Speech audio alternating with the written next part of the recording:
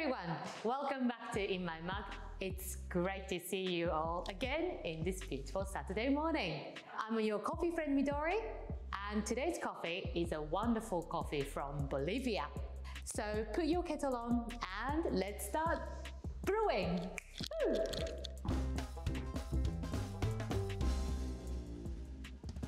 So, Vincente Paye uh, washed Caturra. So this is another coffee from Caranavi region uh, in Bolivia. The town is called Copacabana. It's uh, located in 180 kilometers uh, from the city called La Paz in, in the heart of the Caranavi coffee producing region. So the main harvest season for Bolivia is uh, from May to September and the around the peak is around June, July and August. So this is a really fresh coffee from this region and I'm really excited to taste this coffee. So if you've seen our Christmas episode last year, um, you know Bolivian coffees are facing some tough difficult times, like dwelling crops, um, aging plants, and you know lack of varietal uh, diversity, or like aging, aging um, farmers and the young generations. They are like little to no interested in you know carrying on the family business, and but people like Vincente Paye they are doing wonderful work to um, back, up, back that trend. So he's been planting new crops and working hard with his family and increasing his you know, coffee yield and also increasing the quality of the, um, his coffee. And one of the, my favorite story about this family is um, Vincente families um, if you can find this photo, maybe it's here.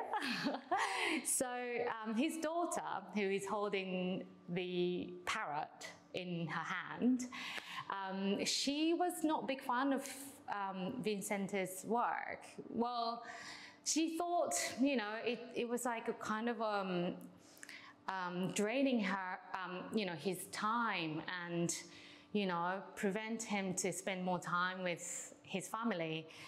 And one time she saw him talking about coffee in some English magazine and that made her so proud of her father.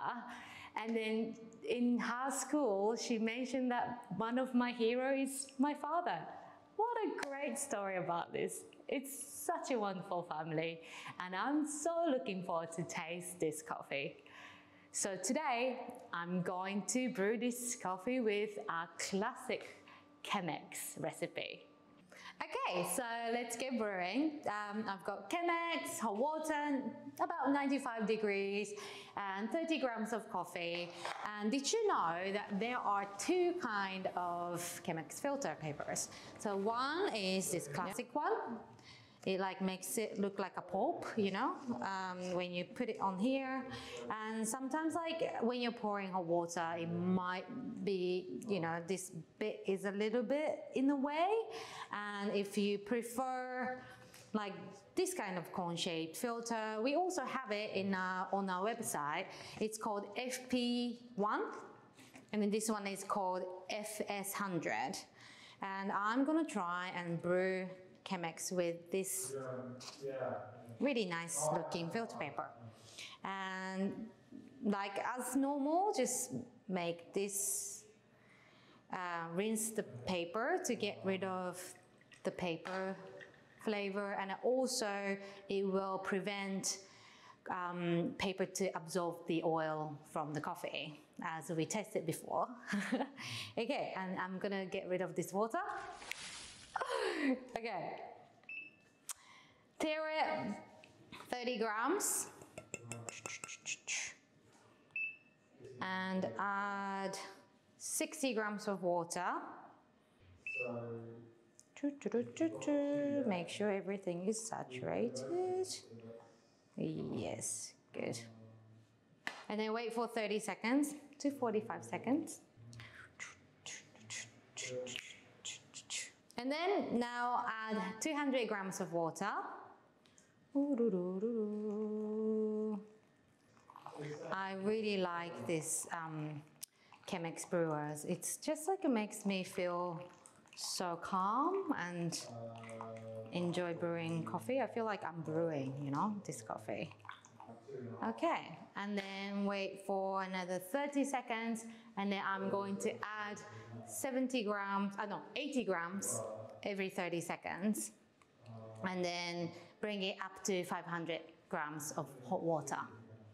Okay, so last pour, so I'm gonna pour this up to 500 gram mark. So if you have been to Hasbean's website, we do have a hand-blown version of the Chemex and it's quite incredible. And when you're pouring um, water on Chemex filter paper, please avoid pouring on the side of the paper because when you pour on the side, and it will go alongside of this uh, outer layer of the paper filter and between layer of filter paper and Chemex brewers and then you might have like different result to your coffee flavor. Okay, so it looks like it stopped dripping. I really enjoy this um, flat cut filter, do you call it? It was so easy to pour over it. Um, it's, it feels like the square one is nicer to pick it up, um, but this one is really easy to pour. And it looks really nice and tidy. Okay, let's taste this wonderful coffee. Okay, I gotta do it really quick. I really enjoy Bolivian coffee. It's, you know, it's a landlocked country and then it maybe like take more longer time to, you know, get to us. And it's probably more pricey, but it tastes great. It's wonderful. Cheers, guys. It's such a lovely coffee. Um, I personally like washed processed coffee. It feels nice and, you know, clean and quite balanced cup. And especially in the morning, I prefer to have something nice and balanced. So I'm like, you know, still a little bit sleepy, but like, you know, okay, I need coffee. And then let's get going. January is still super busy. Um, this coffee definitely has really nice, it's citrusy, it's more like, like Satsuma, so it's not strong citrusy flavor, but it has really nice juicy sweetness and a bit of like uh, passion fruity um, and then raisin aftertaste. I will definitely enjoy this coffee in the morning. Yeah, so what do you think about this coffee? Let me know what kind of brewing method you use or what kind of brewing method you'd like to see in um, 2022 and I'd like to know what your thought is and then how you're enjoying this in my mug episode. And make sure to like, subscribe and hit the bell icon so you're not gonna miss any more episodes in the future. So thank you very much for watching everyone and happy brewing.